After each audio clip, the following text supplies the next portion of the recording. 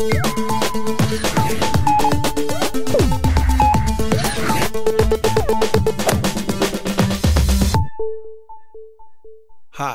I'm Kenny Gioia. Welcome to another one of my tutorials. In this video, I'm going to show you recording preferences in Reaper. Now to get to our preferences, just go to the options menu, go down to preferences, and then right down over here under audio, there's a sub-tab called recording. Here are the recording preferences. And let's start from the top and go down. The first option is to scroll track view while recording. Now this is only going to work if it's enabled for playback in the options menu. In the options menu, right here, automatically scroll view during playback. If this is turned on, when we play back from here, it scrolls during playback. We could also choose the option continuous scrolling. That goes with it, and that looks like this. Where it scrolls continuously, but if either of those are turned on, we can use this option here, which is on by default, where it's going to scroll while recording. So if this was turned off, and we go into record, it's not going to scroll. But in playback, it will.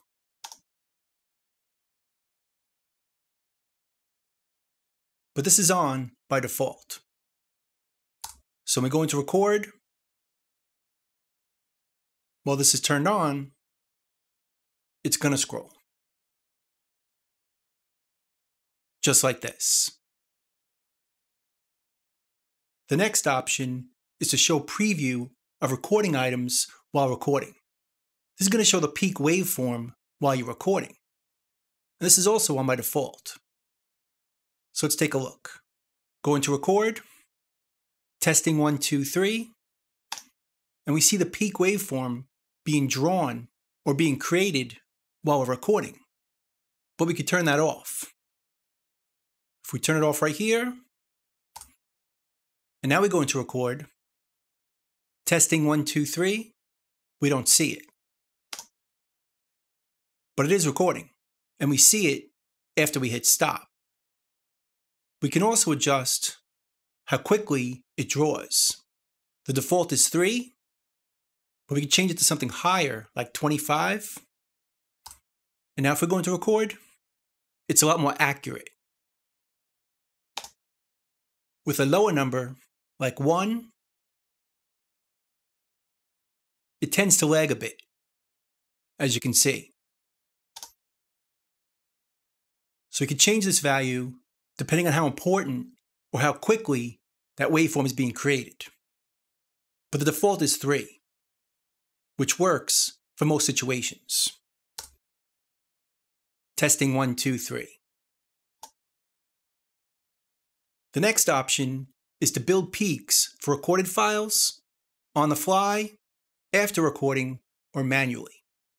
On the fly is the default, which is what we've been seeing so far. But we could choose after recording, and it'll record like this. Testing one, two, three. Well, you don't see the waveform, but if I hit stop, then we see it. Or we could choose it manually. Go into record, it doesn't create the waveform or the peak. If you want the peak, we'd select it, go to the menu under item, and go down here under peaks and choose to build peaks or rebuild peaks for selected items. And then it creates the waveform or the peak. But most times, it makes more sense to leave it on this setting, which is how it's set by default. The next option is to always show full track control panel on ARM tracks. So if we turn this off, we make the tracks real small Let's add a few more. See how small they get? It's hard to see the controls on the record track. But if we choose the option here, always show full track control panel on ARM tracks, the track and record is a bit bigger so we can see more things. And it's on by default. Next, we have these two options here. Prompt to save, delete, or rename new files on stop or on punch out during play. Now by default, this is on.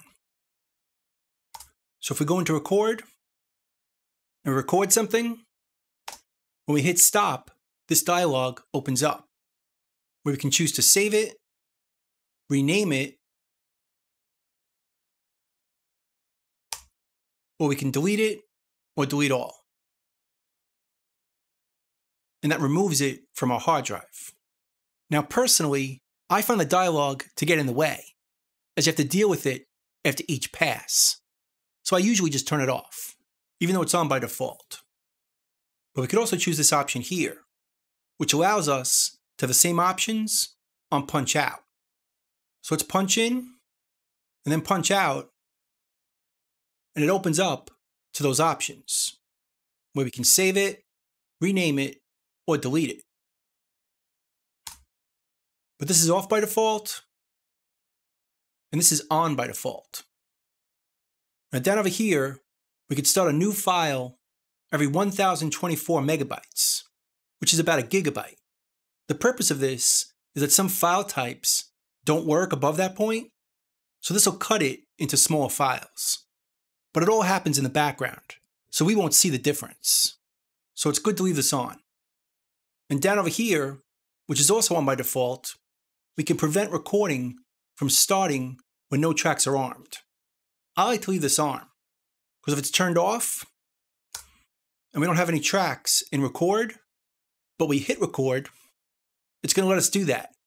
And it looks like we're actually recording, but we're not.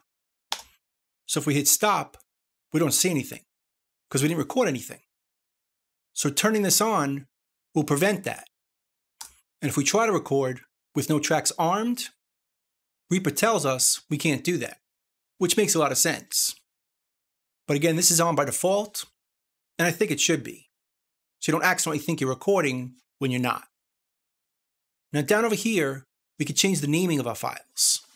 This is the default, which is going to be track number, track name, the year, the month, day, hour, and minute. That's a lot of numbers. So let's take a look at what happens. The name of the track is vocal, and it's the first track. So if we go into record record some audio, it's going to look like this. Right here.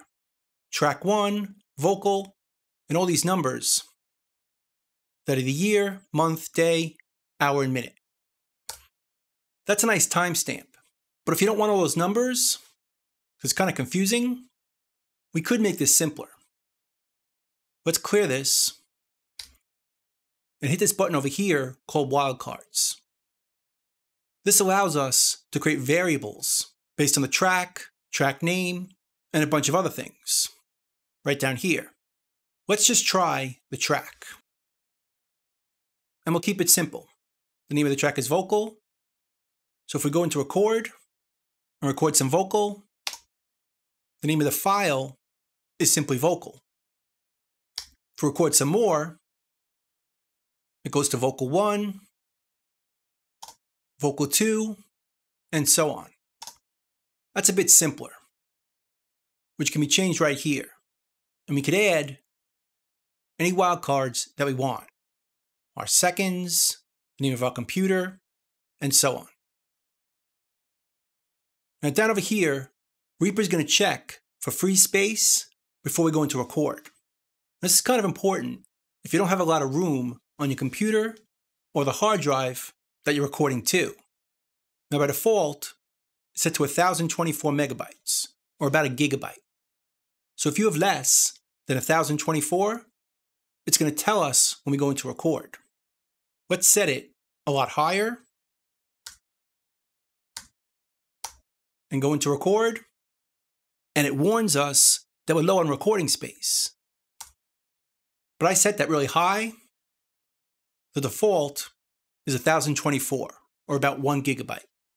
So if your hard drive is running out of room, you could back it up, delete to make some space, and you won't lose an important recording. So I would leave this on, and it's on by default. Then down over here, we could show free space in the menu bar and the recording path in the menu bar. So if we choose both of these, right up here, here's my recording path. This is how much space I have left on my hard drive, 306 gigabytes. So we can see it right here. We could also change that over here in the menu. Show free disk space, turn that off, and the recording path. So now all I see is the recording format and the audio device, which we could also turn off here and here, and just see the recording frequency. But I'm to leave these two on. And these two are off by default. Now down over here, Reaper could use the audio driver reported latency. So it's going to adjust to the hardware audio interface that you're using. Now, in some situations, it may not compensate correctly. So in those situations, you might want to turn it off and readjust it manually here. But in most cases, the information will be correct. So you don't really have to worry about it. Just leave this selected. So that's pretty much it. That's the recording preferences in Reaper. I hope you learned something. I hope you can use it, and I'll see you next time. Thanks.